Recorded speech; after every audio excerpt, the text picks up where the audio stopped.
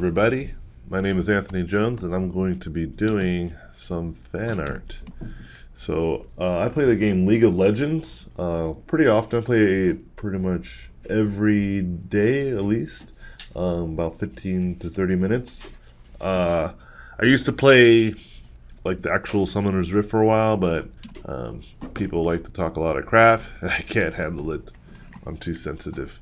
Um, but uh, I play ARAM where they still talk a lot of crap, but it's not as much, so I can kind of handle it. So anyway, so the character I'm going to be doing is uh, Lissandra, and it's funny. She's she's she's a cool character. I play her uh, whenever she comes. Like I don't get because since I play ARAM, they randomly make me play her. But whenever I get her, I'm not like I'm like I'm not worried because she's pretty powerful. Um, but you know, one thing about what I like about her design is she's very reminiscent of the stuff that I kind of already do, which is Heaven's Hell, which is kind of a style that I've already established for myself. Um, so I can kind of go in here and just be pretty confident about how to go about this. Um, and I'm not too worried about what I think, what my interpretation of this will be, because I, I have pretty pretty strong standards of what I think make great aesthetics, and I think what Lissandra brings to the table is already pretty good. So I'm not I'm not too worried about it. So let's just lock lock in some stuff right right away, like her silhouette. And so I'm, i work more in like uh, film and cinematic type stuff. So uh, I'm going to make this feel a lot more cinematic and a lot more like live action. So it's going to have a little bit more realism going on it. Just a little bit more. Because I still kind of like the, the general push of push and pull of proportions here and there. So first things I'm going to do is I'm going to make this a pretty orthographic just because I am not going to spend too much time in this video. So I'm going to do a pretty orthographic view of this character.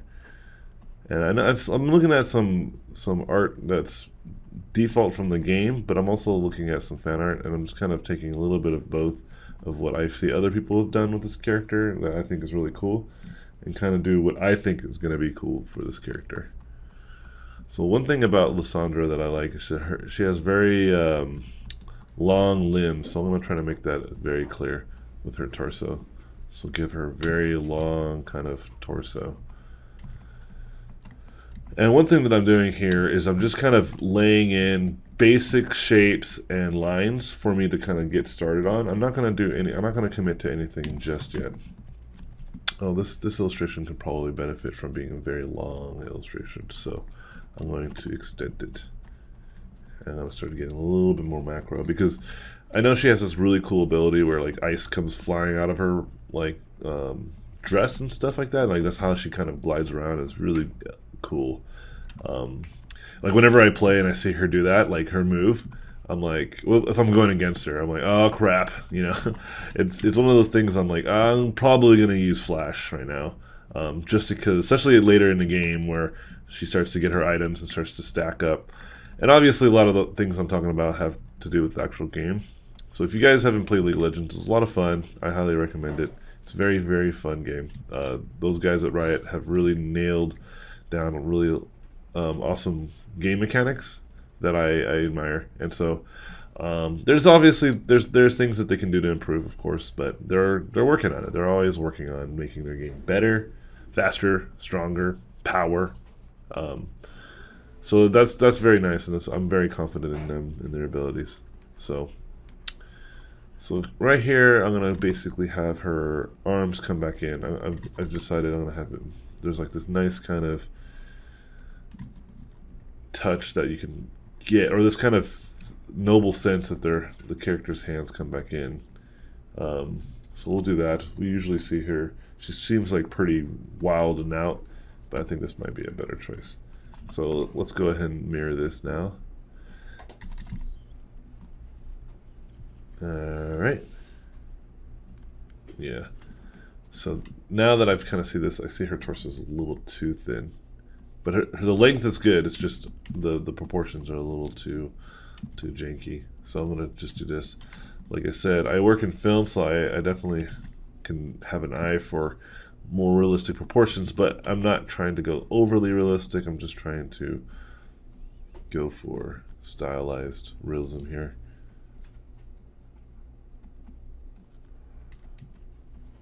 So, so I'll show you guys the image that I'm looking at.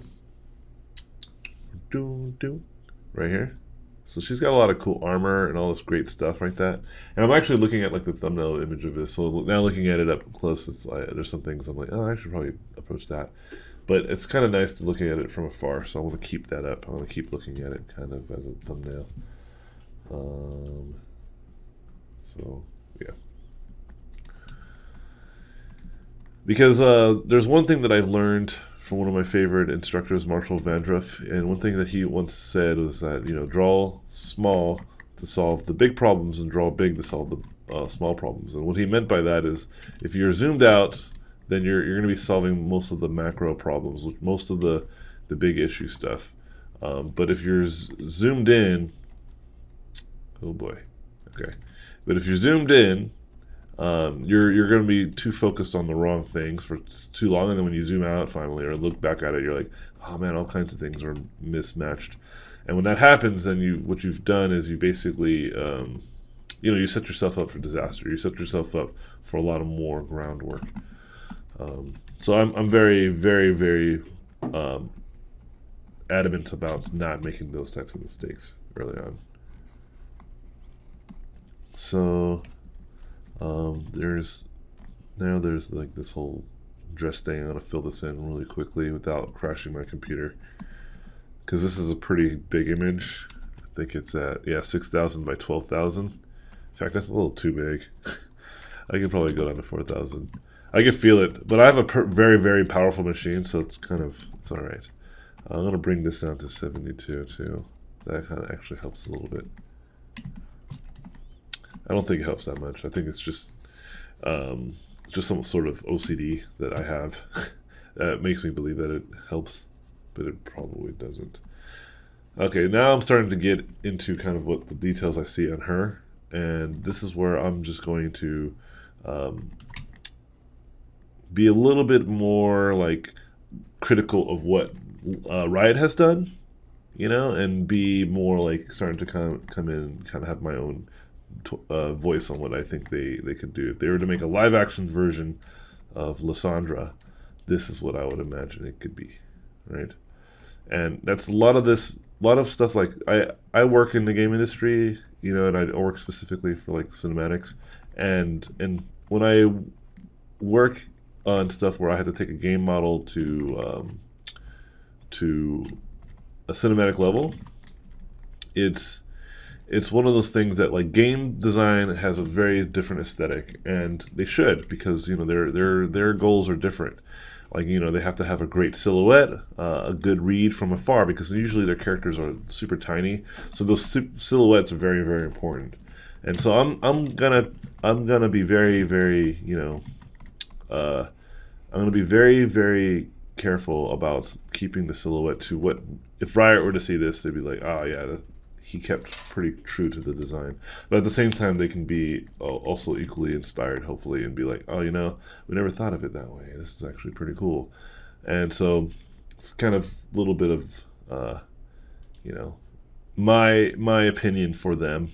Obviously, they don't have to do anything with anything, and they can tell me that it's garbage because they have every right to. It's their it's their idea, it's their uh, character. But um, as a fan of the game and as a fan of this character, uh, this is kind of what if I were to do my version on this, I would love to see her be more like this. What I'm doing right now, and everyone has has their opinions and ideas of what they think some of the characters could look like and better. You know, some people want certain skins to come out for certain characters. You know, to help make them their favorite characters look even cooler. And that's kind of how Riot really keeps their customer base happy too. They have a lot of very very interesting and amazing looking skins. Uh, I got like this this winter uh, aesthetic um, skin for one of my favorite characters, Sivir, and I love it. it she looks so dope um, with it, and so uh, I'm very appreciative of them and their art team. I have a few friends over there, and they're doing a great job. They're doing an amazing, phenomenal job making me love the designs of some of their characters' skins. So keep it up, guys. You guys are nailing it. Um,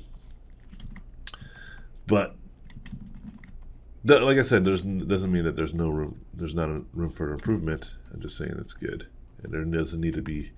It doesn't need to be changed. I think they're doing all right. But this is what I think could be, could be cool. If you guys were to ever make a movie, um, and so I try to keep my my paintings relatively quick too. That's another thing that I like to try to achieve in my paintings. Um, I try to do them in a very short amount of time, so that way I can kind of, you know, do a few things. One, have a, a really cool and design design ready to go, but more importantly, like kind of get to the point quicker because if I find that a lot, of, people who start out painting, they they want to they want to noodle, they want to sketch, they want to do all these great things that are fun to do. I'm not not saying that you know painting and noodling isn't fun. I definitely understand it because I do it myself. But there's definitely a point of you know there's there's definitely a point of diminishing returns, and if you spend too much time. Uh, living in that moment of diminishing returns and you're going to end up wasting more time than uh, than you actually realize. And the only way to really know this is by lots and lots of practice and knowing what you spend too much time on. And luckily for you guys, I have a head start on that kind of stuff.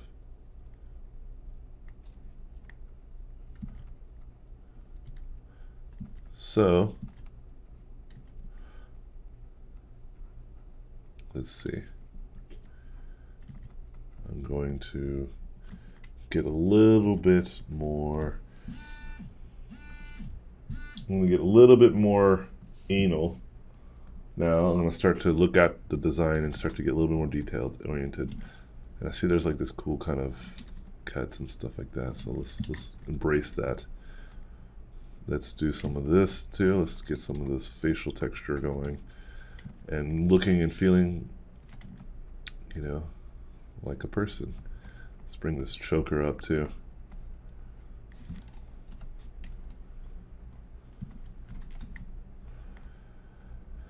Yeah, details are always fun. Kind of looks like her mouth is open. I'm gonna kind of eliminate that illusion.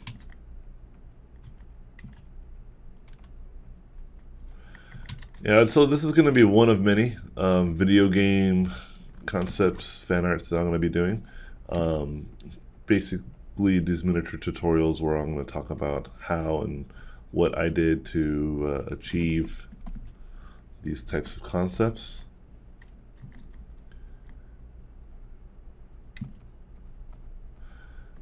Um, just because I think it's important for a lot of people to, to see kind of how I approach fan art and how I think about fan art. Because I think fan art's very fun and it's very important to do as an artist because it's it's like uh, if you've ever watched any reality show with like uh, for example um, uh, American Idol or America's Got Talent or some of these type of shows like X Factor or The Voice um, where they have singers sing a song that everybody already knows, like a popular song that everybody already kind of knows, right? Um, but they make them basically do a cover of that song. And why that's important to know, like why they don't have them do original content. Um, one of the things that they do, the reason why is because they can kind of see how well you sing based off of a popular song. Because sometimes if you sing your own kind of original song, it's harder to tell, right? Unless you have like a hit, right, right off the bat. And a lot of these, a lot of these singers, you know, maybe they don't have a hit, but they have a great voice. You know, that something that they can they can utilize. But but the song content maybe can be wrong. Like the, the their songwriting might not be as good as they think it is and so now their performance is kind of hindered because of it.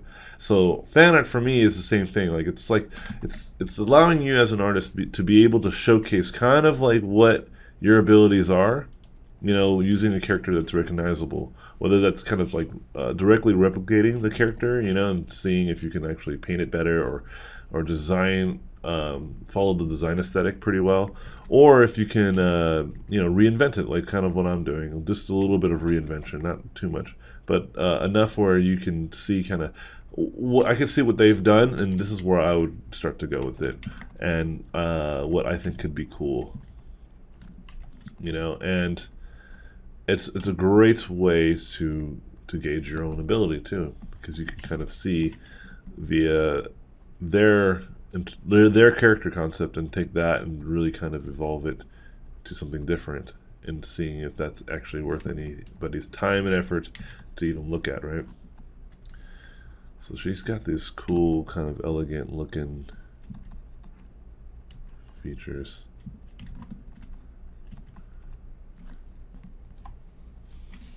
So I'm going to keep that vibe going. Um,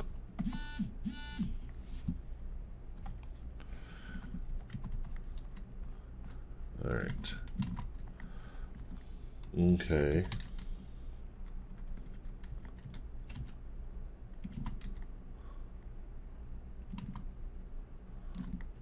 So this part's kind of a detail stage.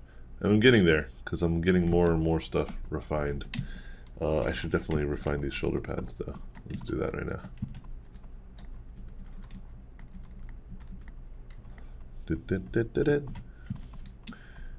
And uh, I'll take this kind of moment of uh, where I'm just kind of going through the, the notions. Uh, I'll take this to kind of uh, promote some of the video tutorials that I have online.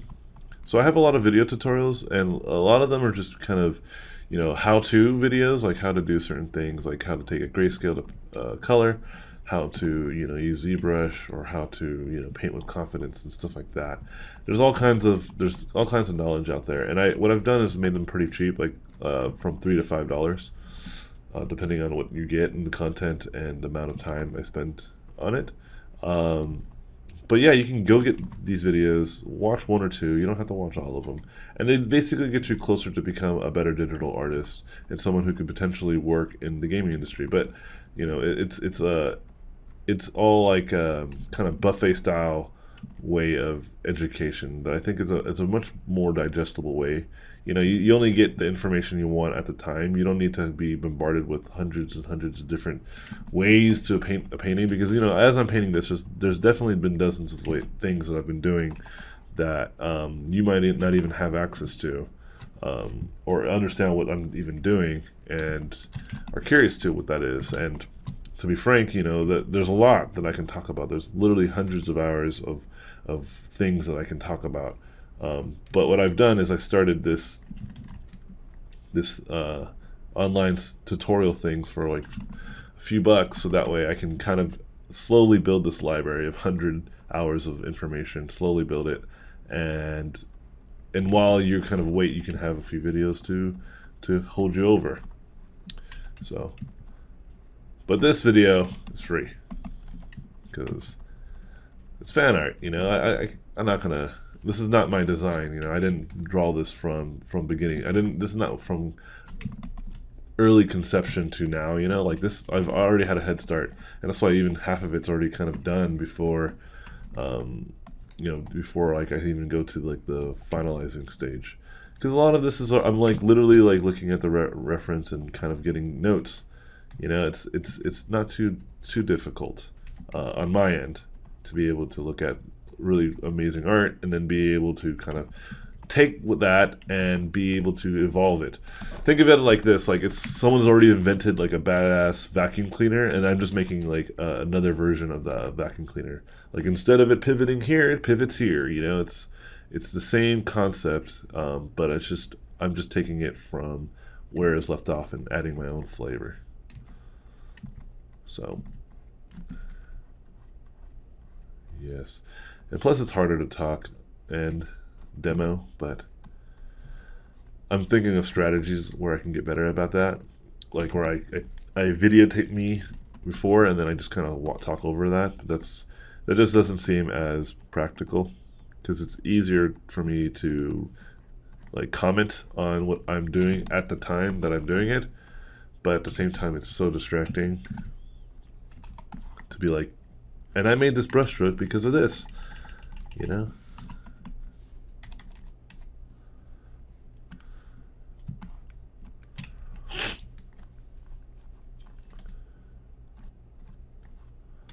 Yeah, we're starting to get to where I think it's going to get real juicy.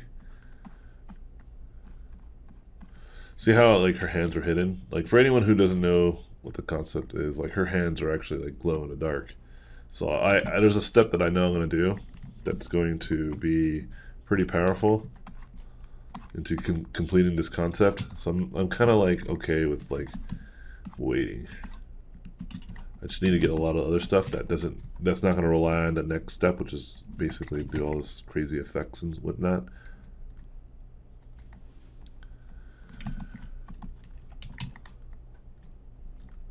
Oh, and, and if you're curious to where uh, I work, because I, I, didn't really mention it, I work over at Blizzard, so I'm a Blizzard concept artist.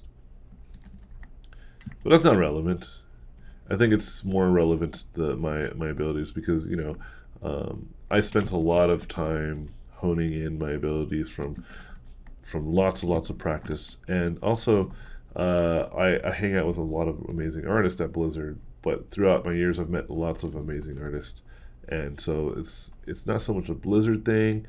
Um, it's more like I just like to really try to escalate my art as much as possible, and usually whenever I run into really awesome people, I like you know hack their brain. and so a lot of this stuff is like, you know, stuff that I've learned from other people and also things that I've invented on my own. And it's just all mashed up into my own particular style. That's what you see. That's that's how you get kind of a good voice for your own work, is to be able to uh, to basically, you know, uh, listen to all the kinds of criticism and feedback that you get over the years and compile them into kind of a style that you end up evolving into. The more you become, uh, the more you become resilient to advice and crit- criticism, the the more your work will suffer. It's just it's just going to happen. Um, I, I've I hear cases like this constantly. It's just iteration is clearly a great way of evolving ideas and concepts, and to not accept that is kind of bogus.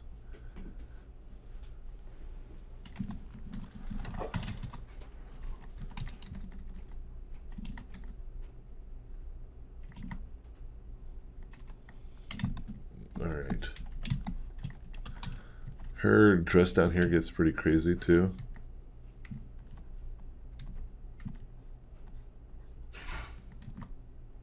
But I'm just going to let it be a little more tamed.